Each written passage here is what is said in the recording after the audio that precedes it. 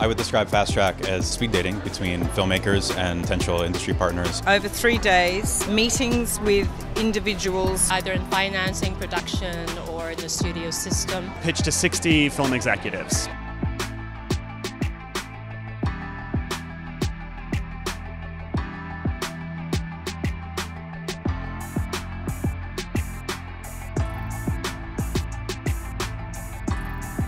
Fast track. Fast Track? Fast track. Fast track. Fast track. Fast track.